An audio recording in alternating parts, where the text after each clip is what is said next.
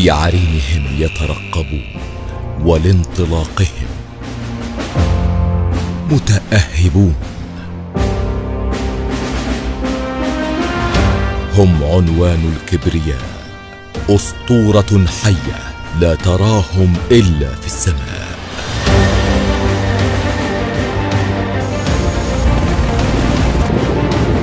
فالنسور لا تأوي إلا فوق القبل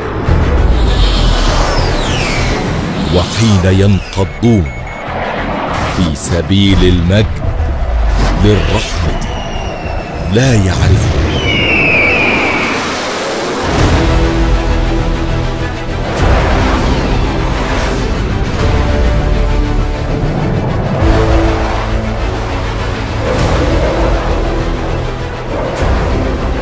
إنهم القوات الجوية المصرية.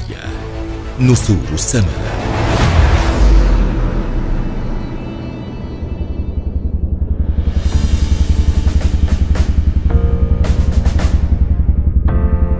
التاريخ يسطره الأقوياء وبطولات لا تصنعها إلا أيد قوية.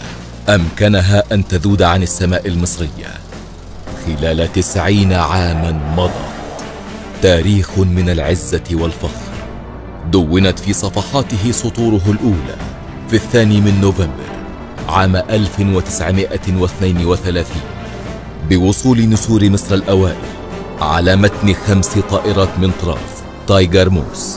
معلنة ميلاد أكبر قوة جوية من نوعها في الشرق الأوسط وشمال إفريقيا. قوات جوية فتية سطرت ملاحم متعاقبة بحروب مصر المعاصرة. كانت بدايتها خلال الحرب العالمية الثانية. أعقبها قتال جوي مع العدو في حرب فلسطين عام 1948 حتى جاءت صفقة الأسلحة التشيكية عام 55 لتبدأ مرحلة جديدة من بناء القوات الجوية المصرية. النسور المصرية تنهض من جديد بعد عدوان أراد أن يعكر صفو الأجواء المصرية في الخامس من يونيو عام 67 فبنت قواعد الانطلاق نحو آفاق العلا لتحقق انتصارات ساحقة خلال حرب الاستنزاف.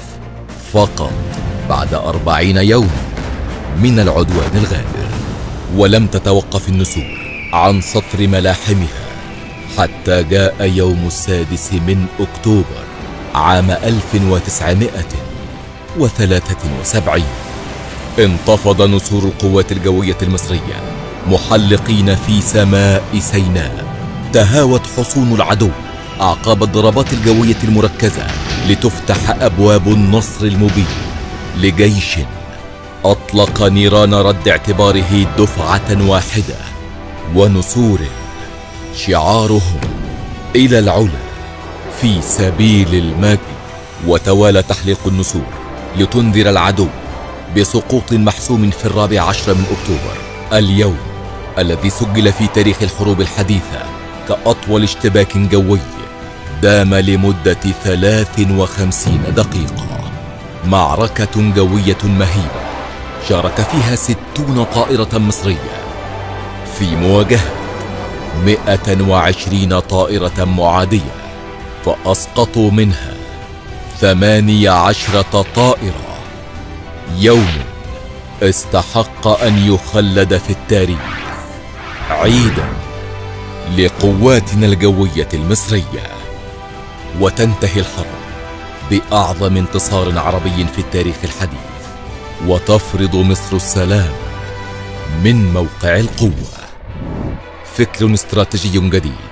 تبنته قيادة سياسية حكيمة وواعية. أمكنها تحقيق طفرة غير مسبوقة في قدرات قواتنا الجوية المصرية بانضمام أحدث الطائرات متعددة المهام. من طراز رافال.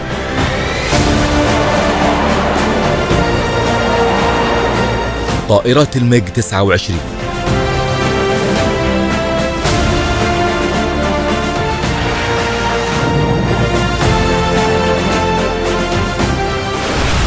بالإضافة لطائرات ال F 16 Block 52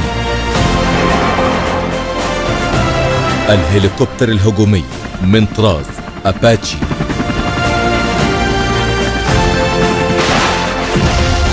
كاموف.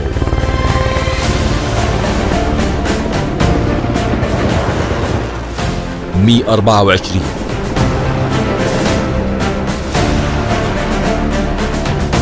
طائرات الإبرار والبحث والإنقاذ من طراز أغوستا. هذا بالإضافة إلى ما تم تحديثه من أسطول طائرات النقل الجوي بدخول طائرات النقل من طراز كاسا. وطائرات النقل اليوشن.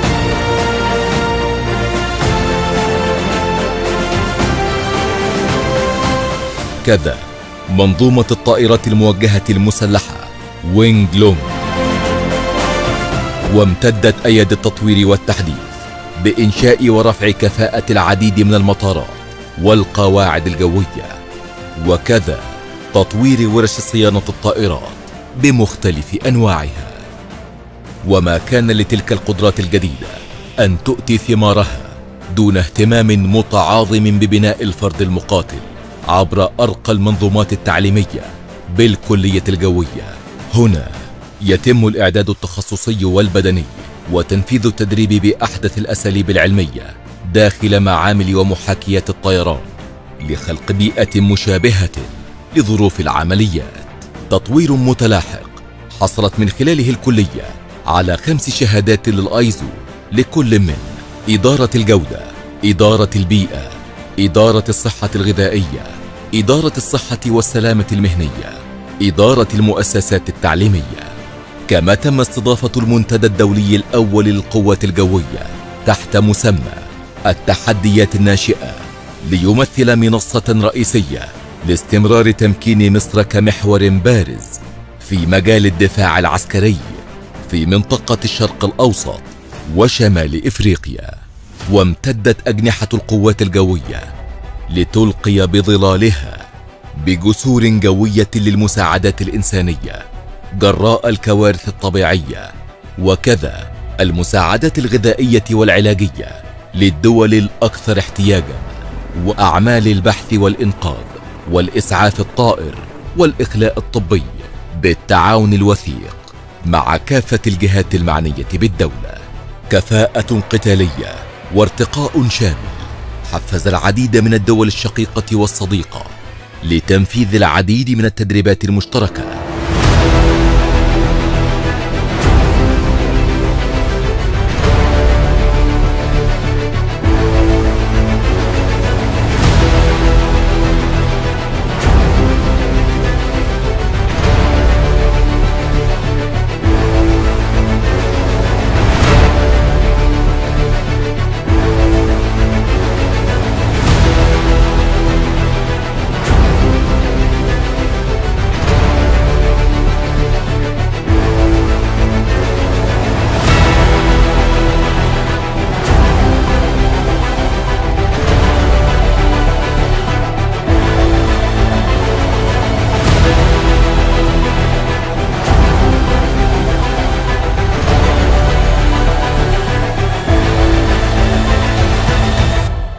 كان آخرها. العرض الجوي بيراميدز اير شو فوق سفح الأهرامات. بمشاركة فريق النجوم السوداء الكوري الجنوبي مع فريق النجوم الفضية المصرية وفريق الهلجازل المصرية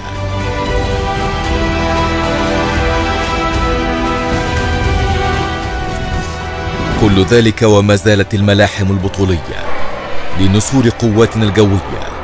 تستمر ليل نهار على كافة الاتجاهات الاستراتيجية للدولة.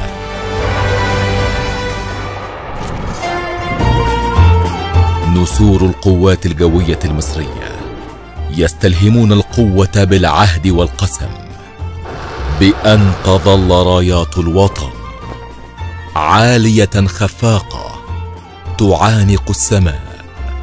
فهذا عهد جيل قدم وما زال يقدم أروع الأمثلة للتضحية والفداء لتطمئن مصر بأن لها رجالا يفرضون كلمتها في السماء وفي جوف الجبال لتعلو رايه العلا في سبيل المجد